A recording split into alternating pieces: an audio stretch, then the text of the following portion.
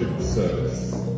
I hope you have a great Sabbath and that your worship together will be something that uplifts us all and lifts us towards God. This afternoon at 5.30, one of our Emily Igarashi will be baptized in the sanctuary at 5.30. Everyone is invited. Reminder, November the 7th, the Soma Community Church will start worshiping with us again. They will be using the facility on a regular basis. And so uh, you can expect to see them around during the week and obviously also on Sunday. Another important event on Sunday is the Fall Festival at Rio Linda. Uh, that is from 3 to 6 at the athletic field on the Rio Linda Academy campus. Remember, of course, that Pastor Brad and Mary Lou are looking for volunteers for the Redwood booth. So if you can volunteer between 3 and 6, that would be great. Go and see Pastor Brad or Mary Lou, put your name down on that sheet. And of course, we hope that everyone has a great time socializing together. And of course, that we raise lots of money for Redwood and for youth ministries at St. Louis. An important reminder about Vespers next uh, we'll have our Friday night Vespers. It will be in the church at 7 p.m. Next weekend will be a very exciting weekend because we have several events going on. Uh, of course, there is the Vespers, but also there will be a planning meeting for the youth ministries. Uh, that will be at 6.30 uh, in the kindergarten room. There will also be a first time Children's Ministries Youth Night. That will be at 6 p.m. in the Vine Center. And of course, for the youth ministry planning, uh, if you are a parent or if you are a youth member, please come to that meeting. And of course, all children are invited to the movie night. There will be snacks, I've heard. A couple of reminders about events that are starting. Of course, perhaps the most important, Cradle Roll uh, is uh, starting, started two weeks ago and continues. If you have a child between the ages of zero and four, then please come to Cradle Roll. It's at 10 a.m. in the Cradle Roll Sabbath School. And of course, uh, for those of you who are of an older age group, uh, the gathering is now meeting at 9.30 in the church sanctuary, followed by our Sabbath school lesson start. Morning, everyone. Hello. Hot. Welcome to uh, welcome to, to church. Today's um, an awesome day, and um, we're going to start off with a song uh, called "House of the Lord." And just wanted to kind of go over the chorus with you so that when the choruses come in, you guys will be familiar with it. You'll be able to come in. Let's all stand and, and, and get into this. This is a really joyous song. Um, so uh, just want to go over the chorus with you real quick. There's joy. There's joy in the house of the Lord. There's joy in the house of the Lord today. And we won't be quiet. We shout out your praise, there's joy in the house of the Lord. Our God is surely in this place, and we won't be quiet. We shout out your praise. So that's, that's how that goes. And so that's not it. It's cold in here. So we gotta get moving, right? Get the blood flowing. So I want you guys to start clapping your hands.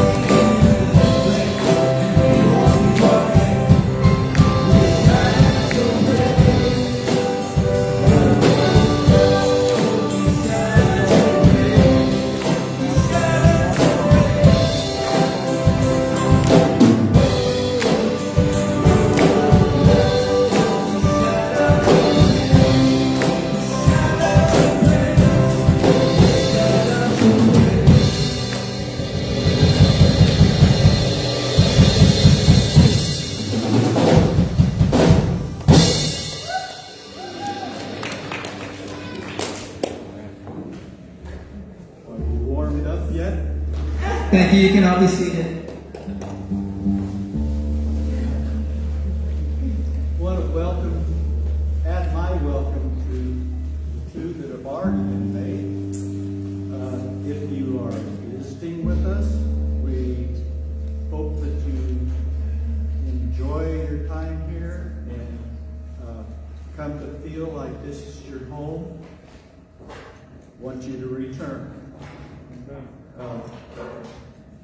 afternoon, as was stated by Keith, there is a baptism here at 5.30 for Emily. We wish to encourage you to stick around after the baptism for the potluck. Potluck means bring something. so be sure to bring something to contribute to the potluck. And at this time, I would invite you to uh, look down the row and see if there's somebody that you need to greet. Uh,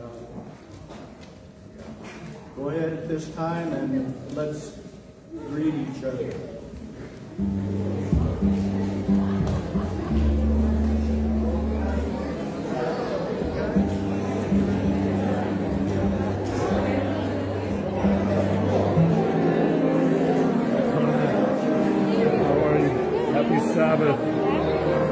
Herbert?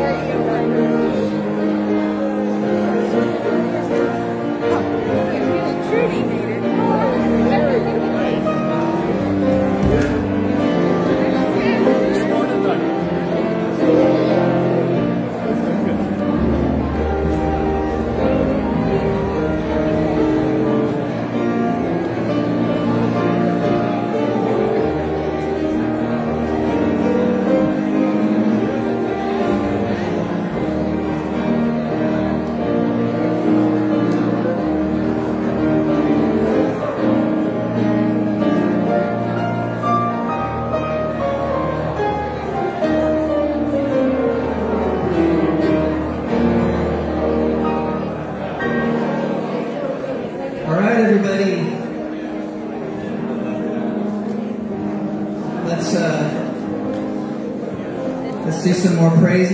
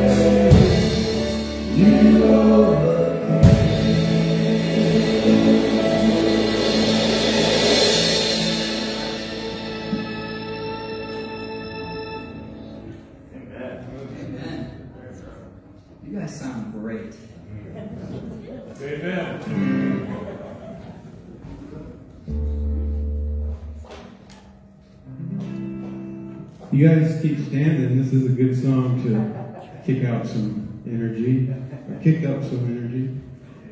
My Savior, my God, He's a good God. We don't always understand, and I'm just going to take a minute because if I try too hard, I'm going to make myself crazy trying to figure out who God is and why God does what God does.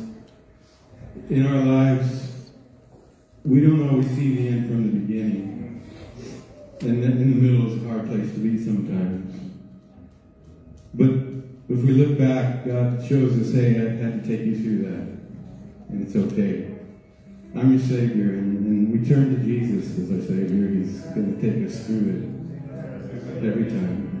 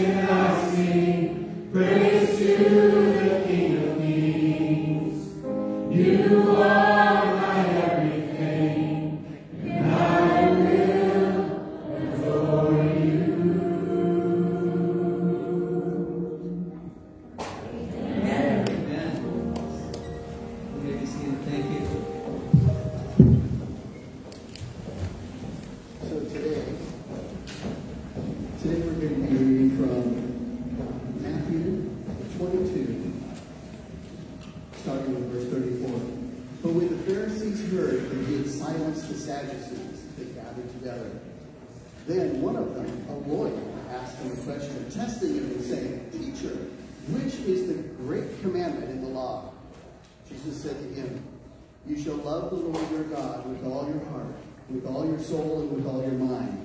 This is the first and great commandment. And the second is like it. You shall love your neighbor as yourself. On these two commandments hang all. I'd like to invite everyone as, if you were able, we thank you for the Sabbath especially. Just the chance to come away from all those things that worry us during the week and be able to come and worship you in this place, in this house of worship. Father, we want to give thanks for those. I know this last week we had people that were in the hospital. They had surgical procedures. I, I think of Buzz Danner and Jeff Heath. Thank you so much for bringing them through those procedures, Lord, and help them with their recovery as we go forward. And Father, all of the others that may be sick or, or have issues, we just ask that you be with them. Send your healing presence to them. And Father, today we thank you so much for joining us here in this house. We ask that you send your spirit to be with each one of us. Open our eyes, open our ears, so that we can hear what you are presenting through Brad this morning. In Jesus' name, amen.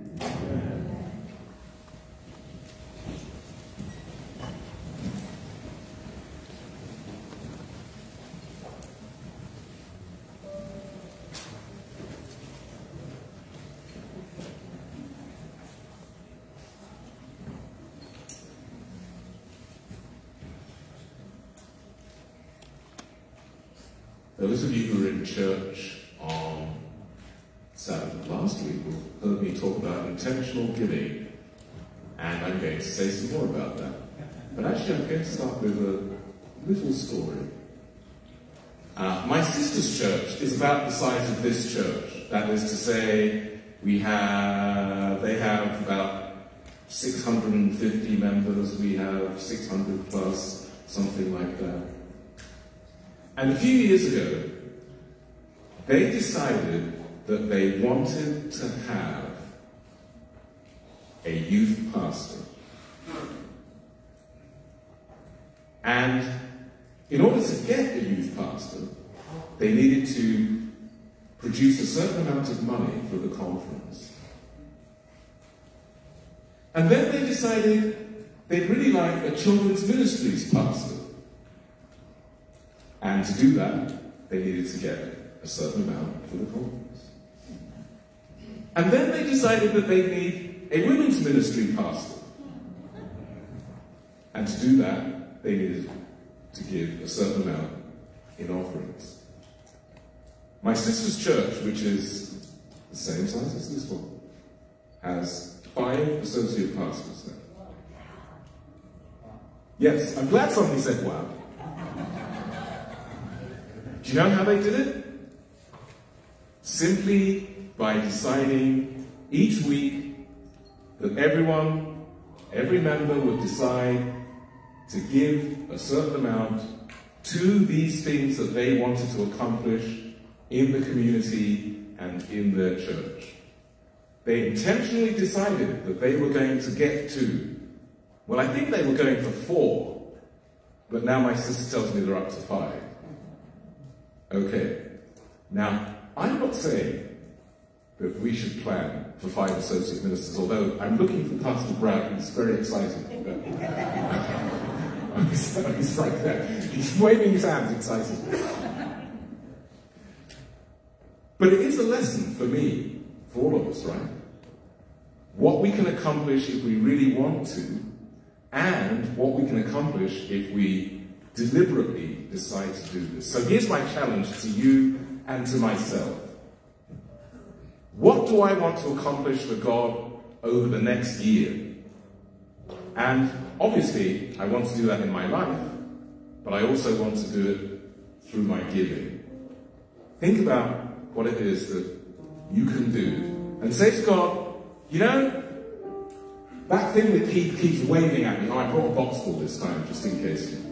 These are the boxes I had in my office that you can fill up. Through my giving each week, I will demonstrate that I can achieve whatever it is that I think I can do for God over the next year.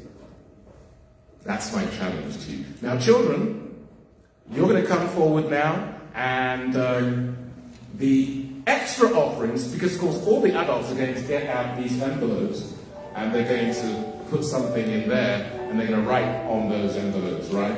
But the extra offering, the, they just feel like giving because, well, that's how God is. Uh, they're going to give to you. So children, come forward right now. And deacons, who I'm not but they're somewhere around, um, please take up the offering from the part that people give deliberately and intentionally. Thank you.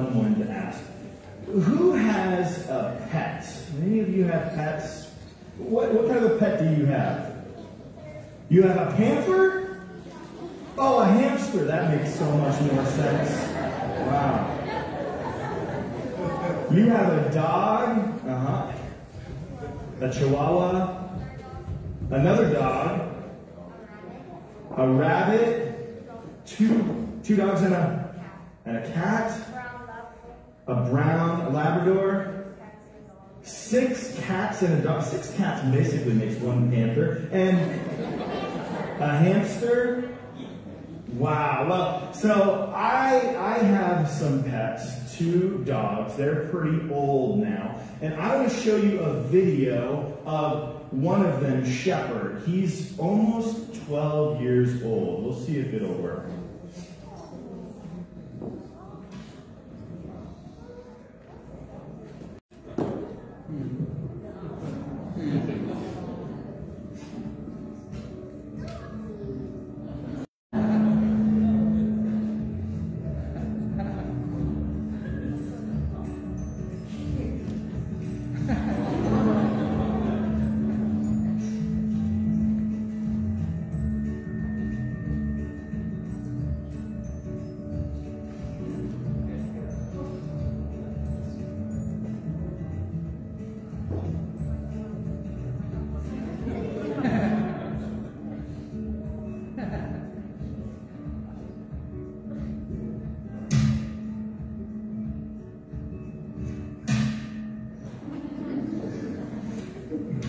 That's what he loves. He loves to get his scritches.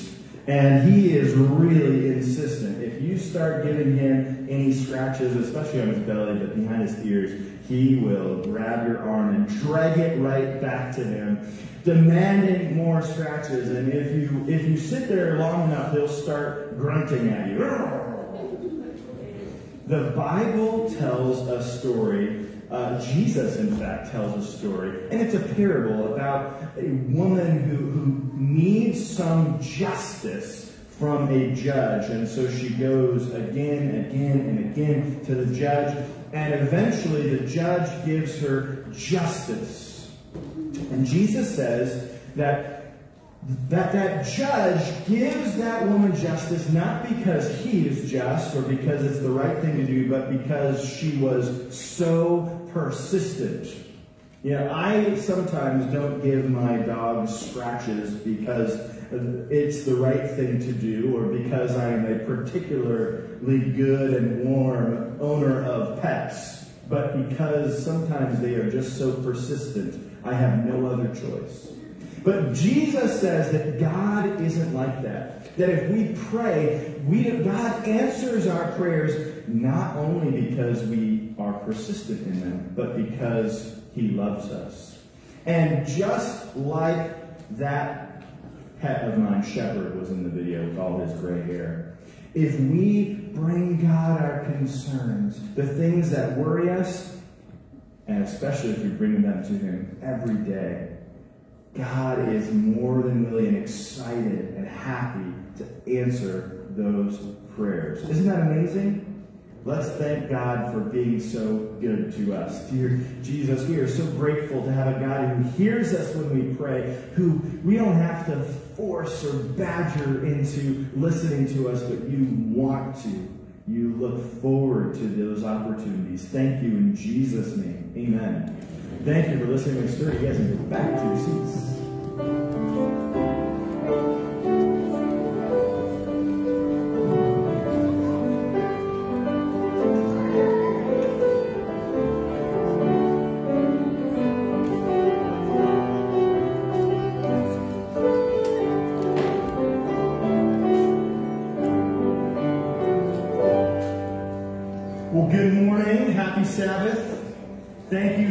Worshiping with us here at the Santa Rosa Seventh day Adventist Church. It is so good to sing together. Wasn't it a blessed time to sing with uh, our, our worship team? And, and really loved to hear that singing you shared with us today. I want to just point out one uh, announcement from me which is that the Fall Fest that's happening at Rio Lindo, that's tomorrow.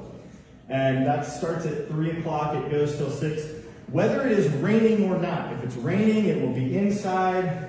If it's not raining, it will be outside or maybe inside if it's like sopping wet everywhere. I don't know. Denise?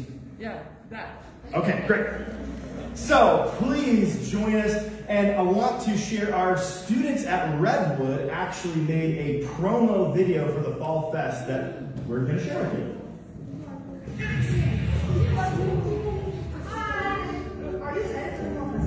Yeah, I've heard it's at Lindo Academy from 3 to 6 this Sunday.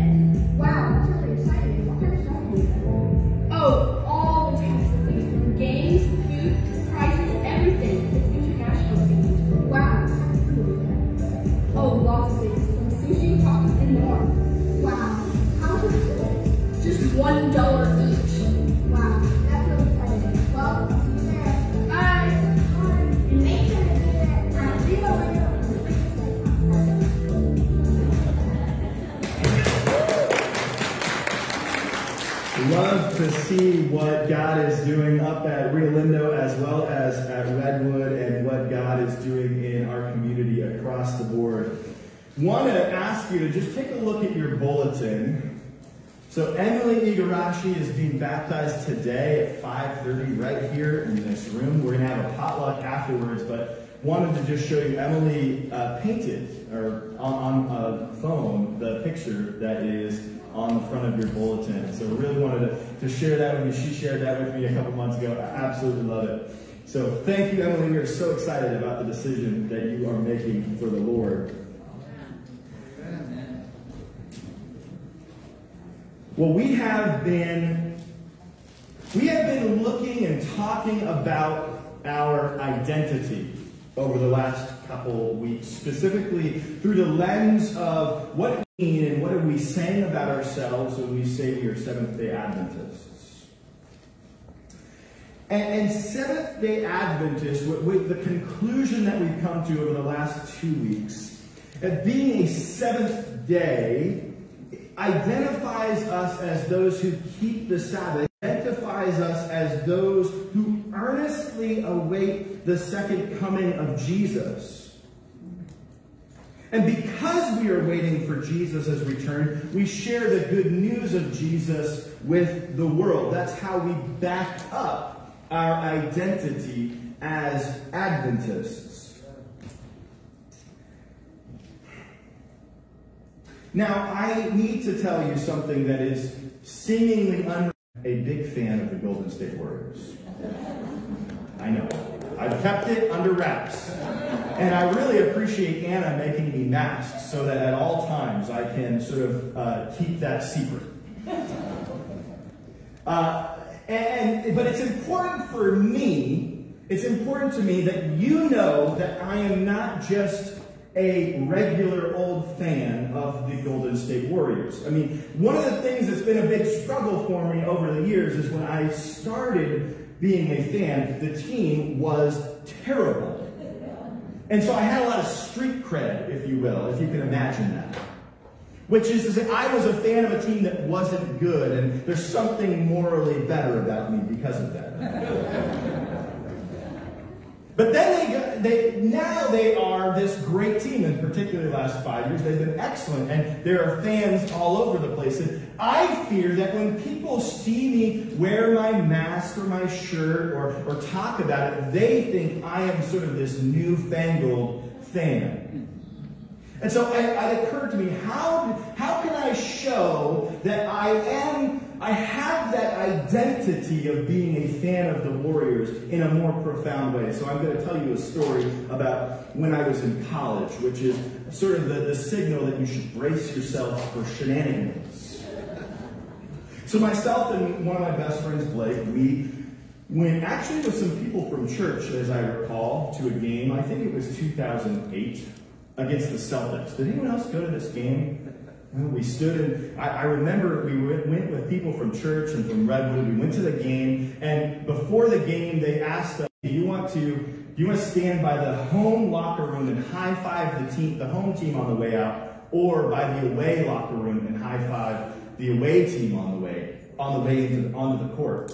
And I'm thinking, well, obviously it's the Warriors, but all three-pointer from Baron Davis. It was unbelievable. The, the, the house came down, like as we were walking out, wall-to-wall people, people are just chanting, Warriors, Warriors. It was a wonderful evening. Now, uh, my, my friend Blake and I, and I think two or three other people, we had drove, we drove to the arena from PUC up in Angwin in our little Dodge, my Dodge minivan that my parents let me drive. Green, kind of vaguely puke colored, really. And by the time we made it back out to the parking lot, it had been a long time. It was a packed house. And when we got to the parking lot, as we were pulling out, we saw coming out of the players' parking lot, Baron Davis driving a convertible. And as one, mind melded, we said, we got to follow him.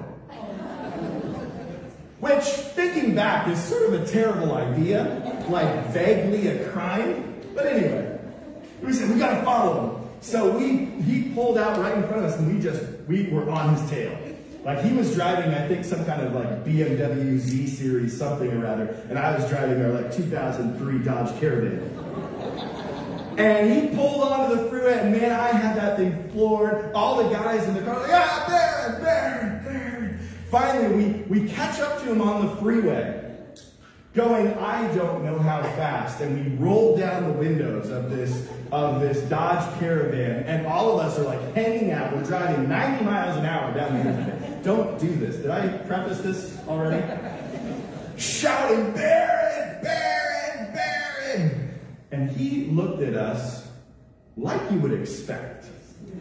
Like we were crazy people. Because in retrospect, fair, very fair. Here are a bunch of 20 somethings hanging out of a minivan at midnight on 580, uh, uh, going 90 miles an hour. So he pulled off the freeway, and but we thought this was the pinnacle. We peaked just now. We had an, a, a real interaction with Baron Davis. So it's important for me that you know that's the sort of Warriors fan that I am. I'm the sort of fan who chases Baron Davis on the interstate in order to scream at him through the window. That's the sort of person I am. Identity is of vital importance to us. Is PowerPoint working for us today?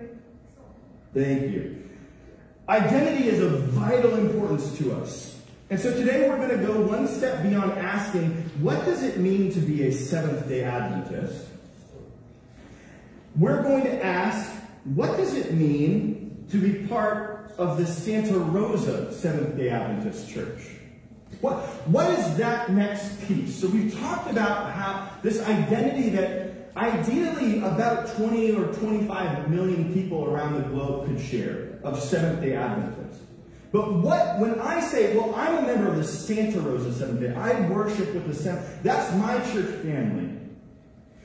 What are we saying about ourselves? And how do we back that up? That's really the question.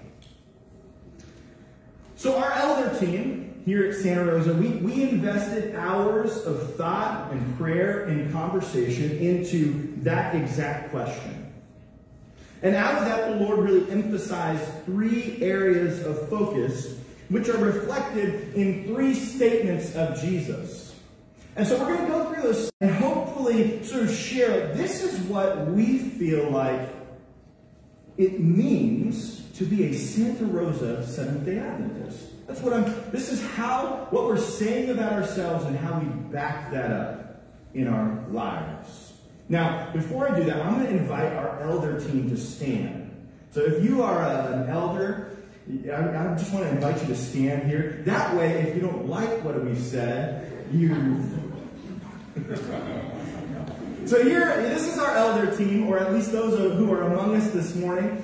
And, this is something we've prayed through. Thank you guys so much. And I'll, if you ha- if you have a concern, I've got their names, their numbers, and their addresses. This is something we really prayerfully considered, and it sort of, in retrospect, these three sort of dimensions of what it means to be a Santa Rosa Seventh day Adventist come out of that prayer and conversation. So we're in Matthew chapter 22. Jesus Amen. Jesus is kind of at the tail end of people sort of wrestling with him about who he is. And so he, he drops some deep wisdom on them. The Pharisees heard that he had silenced the Sadducees, which was a whole thing. If you read the Gospels ever, there's sort of a two party system in Jerusalem. And unlike how well Republicans and Democrats get along, the Sadducees and the Pharisees did not like each other. And so they, this verse really, we get, we get behind sort of the politics of the day. Like, the Pharisees essentially were extremely uh, conservative. They believed like the letter of the law is all that matters. The Sadducees were kind of more liberal. They didn't even, they were Sadducee because they didn't even believe in the resurrection. Um, so the Pharisees hear that Jesus had sort of put the Sadducees in their place, and they're like, oh, great, he's on our side, so we're going to get him to answer our questions. What's important to us? They gathered together, and one of them, a lawyer, asked him a question to test him. Teacher, which is the greatest commandment in the law? Now, this was the question. If, if you were a Pharisee, and really if you were a Jew, this was all that mattered. Really, the, the practice of the day when it came to interacting with God's Word was all about ranking. You had hundreds of laws that you find in Scripture, and part of the job of the lawyer, the one who's asking the question, is ranking them so that you know which is more important. For example, if it was Sabbath, but you needed to go care for your mother or your father who was on the other end of town, someone needed to know, okay, is it more important for me to keep the Sabbath or to honor my father and mother? And depending on what lawyer of the law you talk to, one might say the Sabbath is more important, so mom and dad, they'll figure it out on their own. Another might say, ah, well, really, God is our Father, so you should you should break the Sabbath and go help them out with whatever they need. And that was the whole discussion.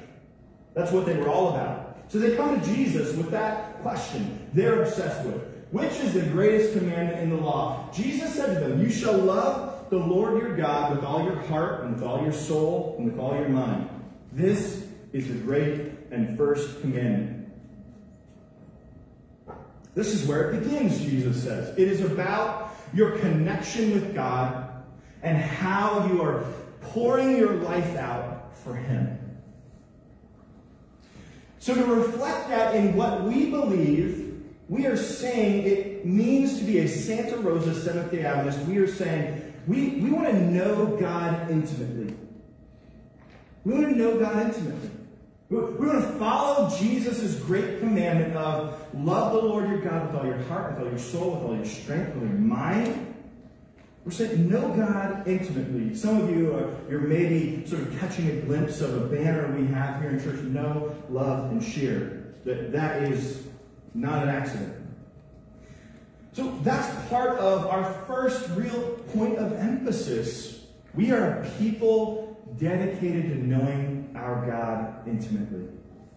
Everything we do is focused through that lens. And that intimacy, that is meant to be deep and wide with our hearts, our souls, our minds, our strength. Jesus continues, and a second is like it. You shall love your neighbor as yourself. On these two commandments depend all the law and the prophets. So Jesus is saying, here are the greatest commandments. The first is to, to love God with everything. The second is, is paired with it. They are inextricably linked. And that is to love your neighbor as yourself. So as we think about how are we backing up our identity as Santa Rosa Seventh-day Adventists, we're saying that we love each other selflessly. Right? Look, love your neighbor as yourself. That, that is a selfless love we are sharing. So part of the connection that we are experiencing, that we are living, is within our church. That, that when you are hurting, we are hurting with you. When you are rejoicing, we are rejoicing with you. We are becoming one and loving each other selflessly. A little bit later in, in, Matthew's gospel, as Jesus is preparing to leave the earth, he kind of gives his disciples one last word. We, we talked about the, the great commandment. And this third dimension that we're talking about is from the Great Commission. Matthew 28, starting in verse 18. And Jesus came and said to them, All authority in heaven and on earth has been given to me. Go therefore and make disciples of all nations, baptizing them in the name of the Father and of the Son and of the Holy Spirit, teaching them to observe all that I have commanded you. And behold, I am with you always to the end of the age. So Jesus has sort of a great command. Know God. Love the Lord your God. Love your neighbor. And he, he finishes with this great commission. Go to the world, all nations, with this message of a God who loves us. So we're saying, share the good news boldly. And th this is what we would say. These three dimensions are central to who we are as Santa Rosa Seventh day Adventists. We know God intimately, love each other selflessly, and share the good news boldly. And we're going to be processing these things together as a church family on Sabbath morning over the next three weeks. We're going to look at each of those three pieces in a very specific way, as well as in a community way. But I want to share with you sort of an encapsulation, I think, where Jesus exemplifies precisely what we're talking about in, in a single passage.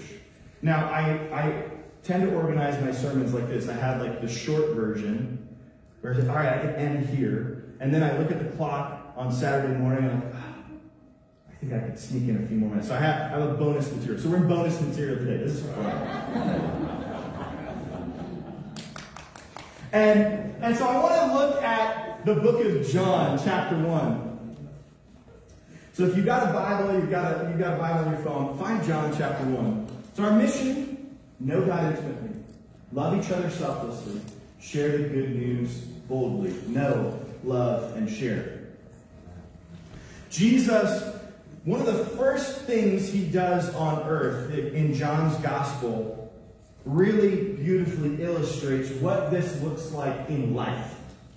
What this looks like in chasing Baron Davis on the 580. The next day again, John, this is John the Baptist, was standing with two of his disciples, and he looked at Jesus as he walked by and said, Behold, the Lamb of God. The two disciples heard him say this, and they followed Jesus. Jesus turned and saw them following and said to them, What are you seeking? And they said to him, Rabbi, which means teacher. Where are you staying? He said to them, Come, and you will see. So they came and saw where he was staying, and they stayed with him that day, for it was about the tenth hour. One of the two who heard John speak and followed him was followed Jesus was Andrew, Simon Peter's brother. He first found his own brother Simon and said to him, We found the Messiah, which means Christ. He brought him to Jesus. Jesus looked at him and said, You are Simon, the son of John. You shall be called Cephas, which means Peter. So I want to look at this passage. Jesus is sort of showing us these three dimensions of, of know, love, and share. So the first thing that happens is John the Baptist points Andrew and John, who wrote this gospel, but leaves himself unnamed because that's his MO. Points him to points them to Jesus, and they follow Jesus. And when they speak to him, Jesus says, What are you seeking? And they, they say, Well, where are you staying? They're almost caught off guard by the question. But Jesus just invites them, Come and you will see. It's just this invitation that Jesus offers to Andrew and to John. Hey, get to know who I am. It's, you're, you're welcome to be in relationship with me. It's that first piece of, of connecting with God. So I want you to see, though, the language here, because I think the language speaks volumes to us. The next day, we're going back to the beginning of the passage. John was standing with two of his disciples. So notice how John writes about himself and Andrew. It was two of them. Right? They, they are two individuals who are there listening to John the Baptist speak. John the Baptist looks at Jesus as he walked by and said, Behold the Lamb of God. And the two disciples, these two individuals, heard him say this and notice, and who followed Jesus? Not, and the two disciples followed Jesus, and they followed Jesus. There's a really deliberate use of language here, which is to say that, that Jesus, in following Jesus, in getting to know who Jesus is, two individuals became a they. They became a community in pursuit of knowing Jesus. And that's the language that is used. Jesus turned and saw them following and said to them, and they said to him, and, and immediately as they're getting to know Jesus, community has formed. And that's what we're talking about is, is we love each other selflessly. We are drawn together because we are knowing God intimately. And you cannot help but enter into community with one another when we pursue a knowledge of who God is. Finally, they, they spend the day with him, and John cannot help it. After spending time with Jesus, or Andrew, excuse me, he first found his brother Simon. So he spends the day with Jesus, and immediately he says to them, dude, you've got to come and meet this guy. You've got to learn who this person is. You've got to become part of our them, our they, our community. That, that sharing of the good news just came innately out of Andrew. And that's what we are. I love this story because it's, it's all here. It, it is, we are Santa Rosa Seventh day Adventists. We are following the invitation to come to know God intimately. Because we are doing that, we are loving each other selflessly. We are becoming a community. And out of that community, out of that knowledge of God, we cannot help but share with others who it is we are coming to know and what it is we are experiencing together. We're Santa Rosa Adventists. And because we are, we know God intimately, we love each other selflessly, and we share the good news boldly. Let us pray together. Lord, thank you.